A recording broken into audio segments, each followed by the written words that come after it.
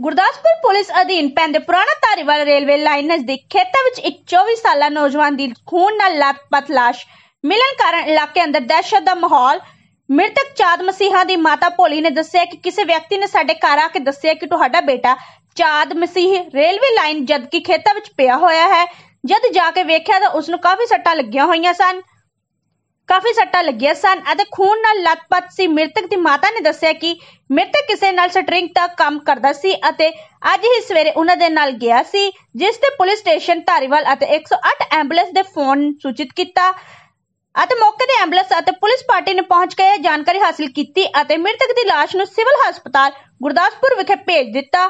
Police ਅਧਿਕਾਰੀ ASI Balvir Singh ਨੇ ਦੱਸਿਆ ਕਿ ਹਰ ਐਂਗਲ ਤੋਂ ਬਰੀਕੀ ਨਾਲ ਜਾਂਚ ਕੀਤੀ ਜਾ ਰਹੀ ਹੈ ਅਤੇ ਮ੍ਰਿਤਕ ਦੇ ਵਾਰਸਾਂ ਦੇ ਬਿਆਨਾਂ ਅਨੁਸਾਰ ਬੰਦੀ ਕਾਰਵਾਈ ਕੀਤੀ ਜਾਵੇਗੀ। ਗੁਰਦਾਸਪੁਰ ਤੋਂ ਲਾਈਵ ਪੰਜਾਬ ਨਿਊਜ਼ ਦੇ ਪੱਤਰਕਾਰ ਲਵਪ੍ਰੀਤ ਸਿੰਘ ਖੁਸ਼ੀਪੁਰ ਦੀ ਵਿਸ਼ੇਸ਼ ਰਿਪੋਰਟ। ਭਾਜੀ ਦੱਸ ਦਿਓ ਇੱਕ ਨੌਜਵਾਨ ਨੇ ਸੱਟਾਂ ਲੱਗੀਆਂ ਮਿਲਿਆ ਵਾ ਇੱਥੇ ਪੁਰਾਣੇ ਧਾਰੀਵਾਲ ਕੀ ਹੈ? ਸਾਨੂੰ ਇੱਕ ਸੂਚਨਾ ਮਿਲੀ ਹੈ ਥਾਣੇ ਤਲਾਸ਼ ਜੀ ਕਿਸੇ ਨੇ ਫੋਨ ਤੇ ਵੀ ਇੱਕ ਲੜਕਾ ਹੈ ਜਿਹੜਾ 24 ਸਾਲ ਉਮਰ ਹੈ ਤੇ ਰੇਲਵੇ ਲਾਈਨ ਦੇ ਲਾਗੇ ਪੁਰਾਣੇ ਧਾਰੀਵਾਲ 'ਚ ਉਹ ਡਿੱਗਿਆ ਪਿਆ ਸੀ ਤੇ ਜਿਹਦੇ ਅਸੀਂ ਆ ਕੇ ਤੇ ਮੌਕੇ ਤੇ ਵੇਖਿਆ ਉਹਦੇ ਥੋੜ੍ਹੀਆਂ ਸੱਟਾਂ ਲੱਗੀਆਂ ਤੇ ਐਂਬੂਲੈਂਸ ਦਾ ਪ੍ਰਬੰਧ ਕਰਕੇ ਤੇ ਉਹਨੂੰ ਹਸਪੀਟਲ ਪਹੁੰਚਾਇਆ ਬਾਕੀ ਅਗਲੀ ਕਾਰਵਾਈ ਵੇਖਣਾ ਅੱਗੇ ਜਾ ਕੇ ਵੇਖਣਾ ਵੀ ਕੀ ਕਾਰਵਾਈ ਬਣਦੀ ਉਹ ਪਰਿਵਾਰਕ ਮੈਂਬਰ ਦੱਸਦੇ ਆ ਕਿ ਕਿੰਨੇ ਲਿਆਂਦਾ ਕੀ ਕੀਤਾ ਜੀ? ਪਰਿਵਾਰਕ ਮੈਂਬਰ ਕਹਿੰਦੇ ਵੀ ਇਹ ਕੰਮ ਕਰਦਾ ਜੀ ਸ਼ਟਰਿੰਗ ਦਾ। ਜੀ। ਤੇ ਸਾਨੂੰ ਤੇ ਹੁਣੇ ਉਹਨਾਂ ਨੂੰ ਵੀ ਹੁਣੇ ਪਤਾ ਲੱਗਾ।